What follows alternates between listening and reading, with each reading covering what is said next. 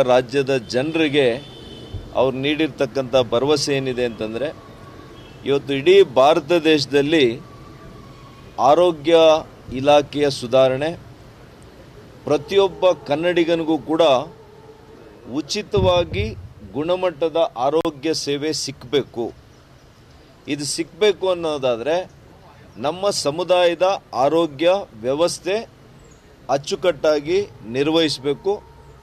ಅದರಲ್ಲಿ ಮೂಲಭೂತ ಸೌಕರ್ಯ ಇರ್ಬೋದು, ವೈದ್ಯರ ಕೊರತೆಯನ್ನು ನೀಗಿಸುವಂಥದ್ದು ಇರ್ಬೋದು ಆರೋಗ್ಯ ಸಿಬ್ಬಂದಿಯ ಇವತ್ತು ಏನು ಆರೋಗ್ಯ ಸಿಬ್ಬಂದಿಯನ್ನು ಹೊಸದಾಗಿ ಅವರನ್ನು ನೇಮಕ ಮಾಡುವಂಥದ್ದು ಇವೆಲ್ಲ ವಿಷಯಗಳ ಬಗ್ಗೆ ಇವತ್ತು ಕೂಲಂಕುಷವಾಗಿ ಒಂದು ಸಮಿತಿ ಏನಿತ್ತು, ಆ ಸಮಿತಿಯ ಮೂಲಕ ಪ್ರೆಸೆಂಟೇಷನ್ ಇವತ್ತಾಗಿದೆ ಮಾನ್ಯ ಮುಖ್ಯಮಂತ್ರಿಗಳಿಗೆ. ಇದರಲ್ಲಿ ತಮಗೆಲ್ಲ ಕೂಡ ಗೊತ್ತಿದೆ ಇವತ್ತು ಕೇರಳ ಮತ್ತು ತಮಿಳುನಾಡು. ಇಡೀ ದೇಶದಲ್ಲಿ ಸಮುದಾಯದ ಆರೋಗ್ಯ ವ್ಯವಸ್ಥೆ ಉತ್ತಮವಾಗಿದೆ. ಆರೋಗ್ಯ ಸೇವೆಗಳು ಚೆನ್ನಾಗಿವೆ ಅಂತ ಜನರು ಮಾತನಾಡ್ಕೊಳ್ತಾರೆ.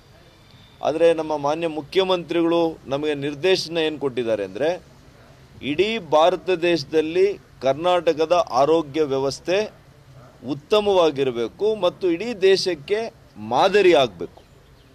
ಈ ರೀತಿಯಲ್ಲಿ ಒಂದು ಕನಸನ್ನು ಕಂಡಿದ್ದಾರೆ. ಆ ಕನಸಿಗೆ ಪೂರಕವಾಗಿ ಪ್ರಾರಂಭದಲ್ಲಿ ಇವತ್ತು ಪ್ರಾಥಮಿಕ ಚಿಕಿತ್ಸಾ ಕೇಂದ್ರಗಳು. ನಮ್ಮಲ್ಲಿ ಎರಡು ಸಾವಿರದ ಮುನ್ನೂರ ಎಂಬತ್ತೇನಿದೆ. ಇದೆಲ್ಲದರ ಬಗ್ಗೆ ವಿವರವಾದಂಥ ಒಂದು ಮಾಹಿತಿಯನ್ನು, ಕಲೆಯನ್ನು ಹಾಕಿದ್ದಾರೆ. ಇವತ್ತು ಪ್ರತಿ ಚಿಕಿತ್ಸಾ ಕೇಂದ್ರಗಳು, ಇವತ್ತು ಪಿ ಎಚ್ ಸಿ ಅಂತ ನಾವೇನು ಹೇಳ್ತೇವೆ ಪ್ರೈಮರಿ ಹೆಲ್ತ್ ಸೆಂಟರ್ ಅಂತ. ಇದಕ್ಕೆ ಇವತ್ತು ಮೂವತ್ತು ಸಾವಿರ ಜನಸಂಖ್ಯೆಗೆ ಒಂದು ಪಿ ಎಚ್ ಸಿ ಇದೆ ಈಗ. ಹಾಗಾಗಿ ಎಲ್ಲಾದರೂ ಅಸಮತೋಲನ ಇದ್ದರೆ ಅಂಥ ಕಡೆ ಹೊಸದಾಗಿ ಕೂಡ ನಿರ್ಮಾಣ ಮಾಡಬೇಕು. ಮತ್ತು ಇವಾಗಿರ್ತಕ್ಕಂತಹ ಏನು ವ್ಯವಸ್ಥೆಗಳಿದೆ, ಇದನ್ನು ಮೇಲ್ದರ್ಜೆಗೆ ಏರಿಸಬೇಕು. ಮತ್ತು ಆರು ಹಾಸಿಗೆಗಳಿದೆ, ಒಂದು ಪ್ರಾಥಮಿಕ ಚಿಕಿತ್ಸಾ ಕೇಂದ್ರಕ್ಕೆ. ಇದನ್ನು ಹನ್ನೆರಡರಿಂದ ಇಪ್ಪತ್ತು ಹಾಸಿಗೆಗಳಿಗೆ ಅಲ್ಲಿ ಮಾಡಬೇಕು. ಮತ್ತು ವೈದ್ಯರುಗಳು ಈಗ ಒಬ್ಬರೇ ಇದ್ದಾರೆ. ಒಬ್ಬ ವೈದ್ಯರಿಂದ ಇವತ್ತು ಕನಿಷ್ಠ ಮೂರು ವೈದ್ಯರುಗಳನ್ನು. ಮೂರರಿಂದ ನಾಲ್ಕು ವೈದ್ಯರುಗಳನ್ನು ಪ್ರತಿ ಪ್ರಾಥಮಿಕ ಚಿಕಿತ್ಸಾ ಕೇಂದ್ರದಲ್ಲಿ ಇವತ್ತು ನೇಮಕವನ್ನು ಮಾಡ್ತೇವೆ. ಅದರಲ್ಲಿ ಒಬ್ಬರು ಮಹಿಳಾ ವೈದ್ಯರಿರ್ತಾರೆ ಒಬ್ಬರು ಆಯುಷ್ನಿಂದ ಒಬ್ಬರು ವೈದ್ಯರಿರ್ತಾರೆ ಆಯ್ ಇಲಾಖೆಯಿಂದ. ಇವತ್ತು ಮಾನ್ಯ ಪ್ರಧಾನಮಂತ್ರಿಗಳ ಕನಸೇನಿದೆ, wellness centre, health and wellness centre ಅಂತೇಳಿ ಒಂದೂವರೆ ಲಕ್ಷ ವೆಲ್ನೆಸ್ ಸೆಂಟರ್ಗಳು ಈ ದೇಶದಲ್ಲಿ ಮಾಡಬೇಕು ಅಂತ ಅವರು ಏನು ಕನಸನ್ನು ಕಂಡು ಬೈ ಟ್ವೆಂಟಿ ಟ್ವೆಂಟಿ ಫೈವ್ ಮಾಡಬೇಕು ಅಂತ ಏನು ಹೇಳಿದ್ದಾರೆ? ಅದನ್ನು ನಮ್ಮ ಸರ್ಕಾರ ಕರ್ನಾಟಕದಲ್ಲಿ ಪ್ರಾರಂಭ ನಾವು ಮಾಡಿದ್ದೇವೆ. ಇವತ್ತು ಇದೇ ವರ್ಷದಲ್ಲಿ ಬರುವಂಥ ಆಯವ್ಯಯದಲ್ಲಿ ಮಾನ್ಯ ಮುಖ್ಯಮಂತ್ರಿಗಳು ಆರೋಗ್ಯ ಸೇವೆಗಳಿಗೆ ಮತ್ತು ಸಮುದಾಯದ ಆರೋಗ್ಯ ವ್ಯವಸ್ಥೆ ಬಲಪಡಿಸಲಿಕ್ಕೆ ಭಾಳ ವಿಶೇಷ ಮುತುವರ್ಜಿಯನ್ನು ವಹಿಸಿದ್ದಾರೆ, ಬದ್ಧತೆಯನ್ನು ಇಟ್ಕೊಂಡಿದ್ದಾರೆ. ಹಾಗಾಗಿ ದೊಡ್ಡ ಮಟ್ಟದಲ್ಲಿ ಇವತ್ತು ಕ್ರಾಂತಿಕಾರಿಕವಾದಂತಹ ಆ, ಒಂದು ಬದಲಾವಣೆಗಳು ಕರ್ನಾಟಕ ರಾಜ್ಯದಲ್ಲಿ ಆಗ್ತದೆ ಅಂತೇಳಿ ತಮಗೆಲ್ಲ ಕೂಡ ಹೇಳಲಿಕ್ಕೆ ಬಯಸ್ತೇನೆ. ಇವತ್ತು ಯಾವ ರೀತಿ ಒಂದು ಮಾಡೆಲ್ ಮಾದರಿ ಪಿ ಎಚ್ ಸಿ ಇರುತ್ತೆ ಅನ್ನೋದ್ರ ಬಗ್ಗೆ ವಿಡಿಯೋ ಲಿಂಕೇಜನ್ನು ನಿಮಗೆಲ್ಲ ಕೂಡ ಕೊಟ್ಟಿದ್ದೇವೆ. ಆ ಪ್ರೆಸೆಂಟೇಷನನ್ನು ನಿಮಗೆ ಕೊಟ್ಟಿದ್ದೇವೆ. ಅದರಲ್ಲಿ ಯಾಕೆ ವೈದ್ಯರುಗಳು ಗ್ರಾಮೀಣ ಪ್ರದೇಶಕ್ಕೆ ಹೋಗ್ತಾ ಇರಲಿಲ್ಲ ಅನ್ನೋ ವಿಚಾರವನ್ನು ನಾವು ಮಾಡಿದ್ವಿ. ಅವರಿಗೆ ಉತ್ತಮವಾಗಿರ್ತಕ್ಕಂಥ ಮೂಲಭೂತ ಸೌಕರ್ಯಗಳು, ಅವರಿಗೆ ವಸತಿಯನ್ನು ಕಲ್ಪಿಸದೇ ಇರೋ ಕಾರಣಕ್ಕೆ ಅನೇಕರು ಅಲ್ಲಿ ಹೋಗಲಿಕ್ಕೆ ಹಿಂದೇಟಾಗ್ತಾ ಇದ್ರು. ಇದನ್ನೆಲ್ಲವನ್ನು ಕೂಡ ನಾವು ಚಿಂತನೆ ಮಾಡಿ, ಅವರಿಗೆ ಗುಣಮಟ್ಟದ ವಸತಿಯನ್ನು ಕಲ್ಪಿಸೋದಕ್ಕೆ ಕೂಡ ಒಂದೇ ಸಮುಚ್ಚಯದಲ್ಲಿ. ಇವತ್ತು ಯಾವ ಪ್ರಾಥಮಿಕ ಚಿಕಿತ್ಸಾ ಕೇಂದ್ರ ಇದೆ, ಅದೇ ಸಮುಚ್ಚಯದಲ್ಲಿ ಇವತ್ತು ನರ್ಸಿಂಗ್ಗೆ, ನರ್ಸಸ್ಗೆ ಕೂಡ ವಸತಿ, ವೈದ್ಯರುಗಳಿಗೆ ವಸತಿ ಮತ್ತು ಇತರೆ ಆರೋಗ್ಯ ಸಿಬ್ಬಂದಿ ಏನಿದ್ದಾರೆ, ಅವರಿಗೆಲ್ಲ ಕೂಡ ವಸತಿಯನ್ನು ಕೂಡ ಇಲ್ಲಿ ಕಲ್ಪಿಸುವಂಥದ್ದು ಆಗಿದೆ. ಒಂದು ಪ್ರಾಥಮಿಕ ಚಿಕಿತ್ಸಾ ಕೇಂದ್ರದ ವೆಚ್ಚ ಇವತ್ತು ಎಷ್ಟಾಗುತ್ತೆ ಅಂದರೆ ಹೊಸದಾಗಿ ಇದು ಎರಡು ಎಕರೆ ಪ್ರದೇಶದಲ್ಲಿರುತ್ತೆ. ಕನಿಷ್ಠ ಆರರಿಂದ ಎಂಟು ಕೋಟಿ ರೂಪಾಯಿಗಳು ಕೂಡ ಆಗಲಿಕ್ಕೆ ಅವಕಾಶ ಇದೆ. Each primary health centre will cost minimum six to eight crores per unit. This includes twenty thousand square feet of administrative block and primary health centre which has about twelve beds six male and six female wards ಇರುತ್ತೆ. ಅದೇ ಥರನೇ there will be mother and child ಏನೋ mother and child ವಿಭಾಗ ಇರುತ್ತೆ. ಅದು ಶೇಕಡ ಮೂವತ್ತರಷ್ಟು ಆಸ್ಪತ್ರೆಯಲ್ಲಿ ಅದಕ್ಕೆ ಜಾಗವನ್ನು ಕೊಟ್ಟಿದ್ದೇವೆ. ಒಂದು ಲ್ಯಾಬೊರೇಟ್ರಿ ಇರುತ್ತೆ.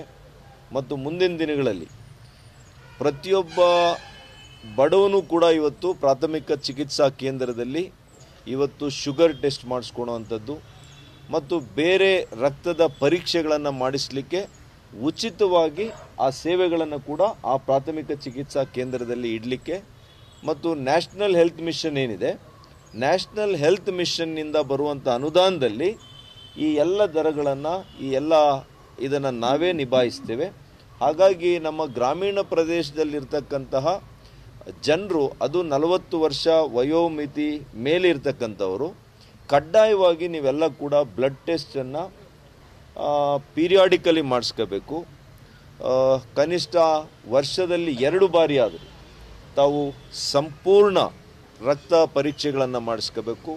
ಮಹಿಳೆಯರು ಕೂಡ ಮಹಿಳೆಗೆ ಸೀಮಿತವಾಗಿರ್ತಕ್ಕಂಥ ಕೆಲವು ಪರೀಕ್ಷೆಗಳು ಏನಿರ್ತವೆ ಅದನ್ನು ಕೂಡ ತಾವೆಲ್ಲ ಕೂಡ ಮಾಡಿಕೊಂಡು ಇವತ್ತು ಇಪ್ಪತ್ತೊಂದನೇ ಶತಮಾನದಲ್ಲಿ ಬೇಕಾಗಿರ್ತಕ್ಕಂಥ ಅಗತ್ಯಗಳೇನಿದೆ, ನಮ್ಮ ಮುನ್ನೋಟ ಹೇಗಿದೆ ಅಂತಂದರೆ this is not just the primary health centre this should be a predictive health centre also ಇನ್ನು ಐದು, ಹತ್ತು ವರ್ಷದಲ್ಲಿ ಒಬ್ಬ ವ್ಯಕ್ತಿಗೆ ಹೃದಯಘಾತ ಆಗುತ್ತೆ ಅನ್ನೋದಾದರೆ, ನಾವು ಹತ್ತು ವರ್ಷಗಳ ಮುಂಚೆನೇ ಇಂಥ ವ್ಯಕ್ತಿ ಈ will be prone to this disease ಅಂತೇಳಿ ಪ್ರೆಡಿಕ್ಟ್ ಮಾಡುವಂಥ ವ್ಯವಸ್ಥೆನ ನಾವು ಇವತ್ತು ಪಿ ಎಚ್ ಸಿ ಮೂಲಕ ಮಾಡಬೇಕಾಗ್ತದೆ.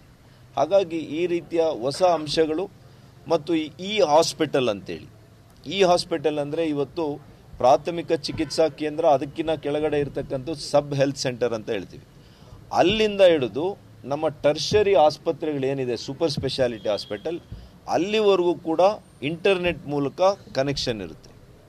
ನಾವು ಒಂದು ಎಕ್ಸ್ರೇ ಪಿ ಎಚ್ ಸಿಯಲ್ಲಿ ತೆಗೆದ್ರೆ ಅದಕ್ಕೆ ಬೇಕಾದಂಥ ಒಂದು ಸಲಹೆಯನ್ನು ನಮ್ಮ ಸೂಪರ್ ಸ್ಪೆಷಾಲಿಟಿಯಲ್ಲಿರ್ತಕ್ಕಂತಹ ಪರಿಣಿತರು ನಮ್ಮ ಪಿ ಎಚ್ ಸಿ ವೈದ್ಯರುಗಳಿಗೆ ಆ ರಿಪೋರ್ಟನ್ನು ಅವರು ಹೇಳುವಂಥದ್ದು. ಮುಂದಿನ ದಿನಗಳಲ್ಲಿ ಅವರಿಗೆ ಆ ವ್ಯಕ್ತಿಗೆ ಯಾವ ರೀತಿ ಟ್ರೀಟ್ಮೆಂಟ್ ಆಗಬೇಕು ಅನ್ನೋದು ಕೂಡ ಇಲ್ಲಿಂದನೇ ಅವರಿಗೆ ಮಾರ್ಗದರ್ಶನ ಕೊಡುವಂಥ ಕೆಲಸ ಆಗ್ತದೆ. ಹಾಗಾಗಿ ಇವತ್ತು ಮೂವತ್ತು ಸಾವಿರ ಜನರಿಗೆ ಪ್ರಾಥಮಿಕ ಚಿಕಿತ್ಸಾ ಕೇಂದ್ರ, ಒಂದು ಆ, ಮೇಲ್ದರ್ಜೆಗೆ ಏರಿಸುವಂಥ ಕೆಲಸ ಆಗುತ್ತೆ. ಇದಾದ ಮೇಲೆ ಎಂಬತ್ತು ಸಾವಿರ ಜನಸಂಖ್ಯೆಗೆ ಸಮುದಾಯದ ಚಿಕಿತ್ಸಾ ಕೇಂದ್ರ ಅಂತ ಏನು ಹೇಳ್ತೀವಿ? Community health centre this will also be upgraded ಮತ್ತು ತಾಲೂಕು ಆಸ್ಪತ್ರೆ. ತಾಲೂಕು ಆಸ್ಪತ್ರೆ ತಮಗೆ ಗೊತ್ತಿದೆ ಒಂದು ತಾಲೂಕಿಗೆ ಒಂದು ಆಸ್ಪತ್ರೆ ಇರುತ್ತೆ. ಇದಕ್ಕೆ ಮದರ್ ಆ್ಯಂಡ್ ಚೈಲ್ಡ್ ಅದು ಕೂಡ ಒಂದು ವಿಂಗ್ ಇರುತ್ತೆ. ಒಟ್ಟಾರೆಯಾಗಿ ಸುಮಾರು ಒಂದೂವರೆಯಿಂದ ಎರಡು ಲಕ್ಷ ಜನರಿಗೆ ತಾಲೂಕು ಆಸ್ಪತ್ರೆ. ಮತ್ತು ಡಿಸ್ಟ್ರಿಕ್ಟಲ್ಲಿ ಈಗಾಗಲೇ ಹದಿನೆಂಟು ಜಿಲ್ಲಾಸ್ಪತ್ರೆಗಳು ನಮ್ಮ ವೈದ್ಯಕೀಯ ಶಿಕ್ಷಣದ ಮೆಡಿಕಲ್ ಕಾಲೇಜಸ್ಗೆ ಅಟ್ಯಾಚ್ ಆಗಿದ್ದಾವೆ. ಇನ್ನು ಹದಿನೈದು ಆರೋಗ್ಯ ಇಲಾಖೆಯಲ್ಲಿದೆ. ಇವೆಲ್ಲವೂ ಕೂಡ ಮುಂದಿನ ದಿನಗಳಲ್ಲಿ ವೈದ್ಯಕೀಯ ಕಾಲೇಜುಗಳು ಮಾರ್ಪಾಡಾಗಿ ಅದಕ್ಕೆ ಇವತ್ತು ಏನು ಇನ್ನೂರು ಹಾಸಿಗೆಗಳು ಅಷ್ಟು ಸಾಮರ್ಥ್ಯ ಇದೆ ಜಿಲ್ಲಾಸ್ಪತ್ರೆಗಳಲ್ಲಿ. ಅದನ್ನು ಮುಂದಿನ ದಿನಗಳಲ್ಲಿ ಐನೂರರಿಂದ ಏಳ್ನೂರು ಹಾಸಿಗೆಗಳು. ಮತ್ತು ಇವತ್ತು ಜಿಲ್ಲಾಸ್ಪತ್ರೆಗಳಲ್ಲಿ ನಮ್ಮಲ್ಲಿ ಟ್ರಾಮಾ ಸೆಂಟರ್ ಕಡ್ಡಾಯವಾಗಿರುವಂಥದ್ದು ಮತ್ತು ಕಾರ್ಡಿಯಾಲಜಿ ವಿಭಾಗ, ಕ್ಯಾನ್ಸರ್ ವಿಭಾಗ, ಇವೆಲ್ಲವೂ ಕೂಡ ಆಯಾ ಜಿಲ್ಲೆಗಳಲ್ಲೇ ನಾವು ಇವತ್ತು ವ್ಯವಸ್ಥೆಯನ್ನು ಮಾಡುವಂಥದ್ದು. ಯಾವುದೇ ಕಾರಣಕ್ಕೂ ಕೇವಲ ಬೆಂಗಳೂರಿಗೋ, ಹುಬ್ಳಿಗೋ ಮಾತ್ರ ಕೇಂದ್ರೀಕೃತ ಆಗಿ ಸೇವೆಗಳು.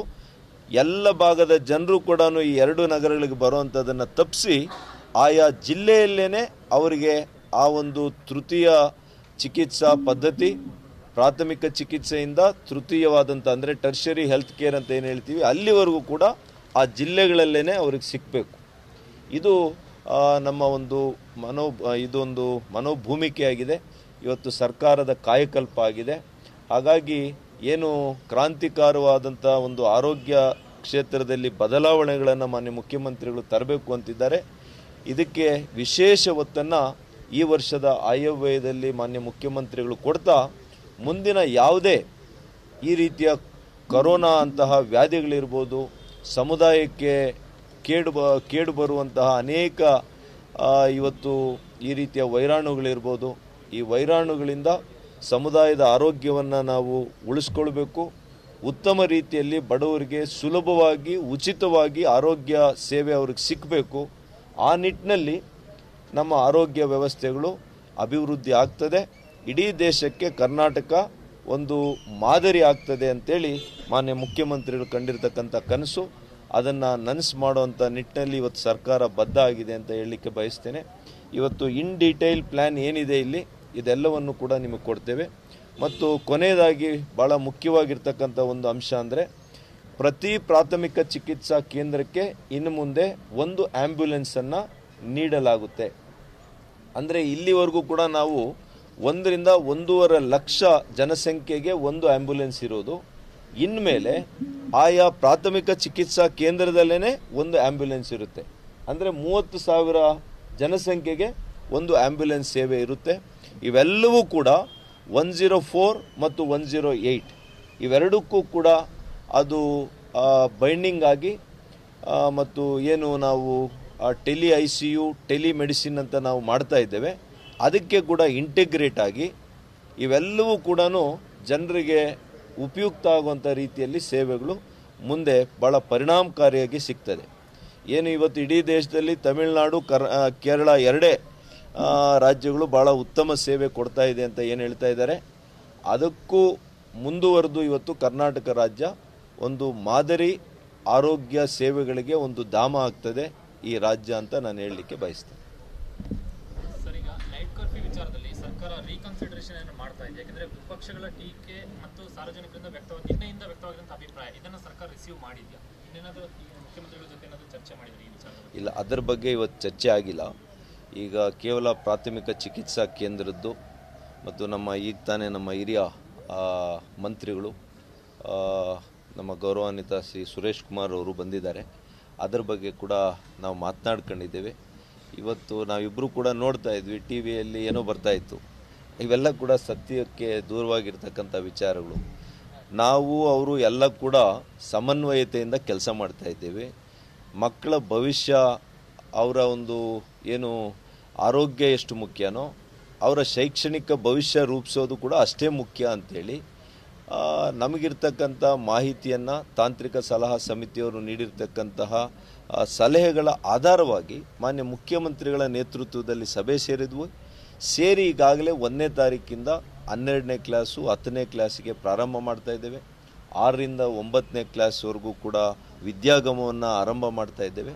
ಹಂತ ಹಂತವಾಗಿ ಎಲ್ಲವನ್ನು ಕೂಡ ಮಾಡಲಿಕ್ಕೆ ನಾವು ತಯಾರಾಗಿದ್ದೀವಿ. ಇವತ್ತು ಎರಡನೇ ಸ್ಟ್ರೈನ್ ಬಂದಿರುವಂಥ ಕಾರಣಕ್ಕೆ ನಾವು ಏನು ಹೇಳಿದ್ದೀವಿ? ಇಪ್ಪತ್ತೆಂಟು, ಇಪ್ಪತ್ತೊಂಬತ್ತನೇ ತಾರೀಕು, ಮತ್ತೆ ನಾವು ಇದೇ ರೀತಿ ಸಭೆ ಸೇರಿಕೊಂಡು ಏನಾದರೂ ಅದರಿಂದ ದುಷ್ಪರಿಣಾಮ ಆಗುತ್ತಾ, ಆಗಲ್ವಾ? ಆಗದೇ ಇದ್ದರೆ ಇದು ಯಾವುದೇ ನಾವು ತೆಗೆದುಕೊಂಡಿರ್ತಂಥ ನಿರ್ಧಾರಕ್ಕೆ ಅಬಾಧಿತವಾಗಿ ಶಾಲೆಗಳು ಪುನರಾರಂಭ ಆಗ್ತದೆ. ಇಷ್ಟನ್ನೇ ನಾವು ಹೇಳಿರುವಂಥದ್ದು. ರಿಗಾರ್ಡಿಂಗ್